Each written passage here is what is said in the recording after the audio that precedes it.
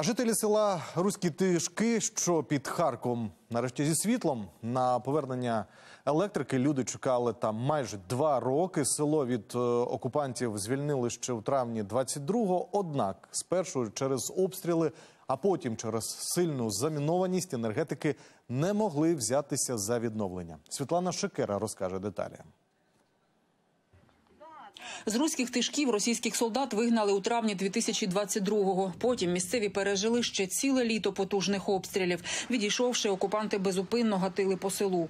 Звідси від руських тишків до російського кордону трохи більше 20 кілометрів. Село нещадно обстрілювалося, тож через великі руйнування та високу замінованість у селі два роки не могли відновити енергопостачання.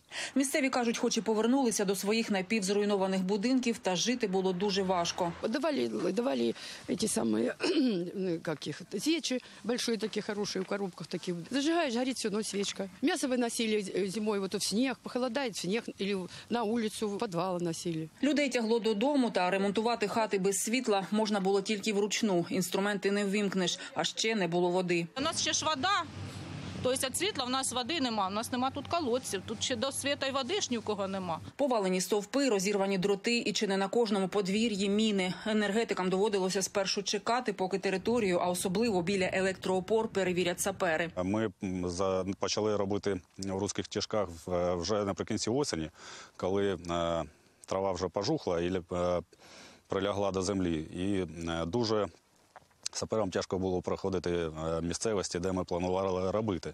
А також е, періодично е, проходив сніг, сапери не могли працювати по снігу по замерзшій землі. Енергетикам бувало через обстріли доводилося призупиняти роботи, та все ж селу вдалося повернути електрику. Майже 100%, 100% лінії було пошкоджено. Дроти відновленню не підлягали, опори, ну, процентів 30 е, стались е, цілі. Е, Також були пошкоджені підстанції трансформаторні.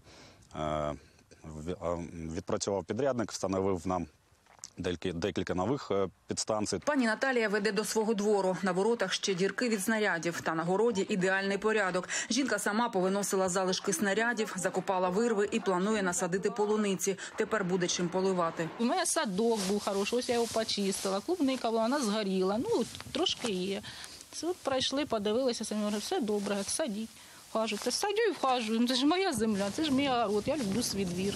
Як повернули світло, то відкрився й магазин. А це справжня подія. Можна й хліба купити, і з сусідами поспілкуватися. Та навіть із комунікаціями, газом та світлом жити в тишках дуже важко. Практично кожна хата потрощена обстрілами або вигоріла. Люди навідуються до своїх будинків, щоб підлагодити їх. Пані Марія ночує у флігелі біля згорілої хати, та й в ньому обвалилася глиняна стеля. Вот смотрите, было все, не стало ничего.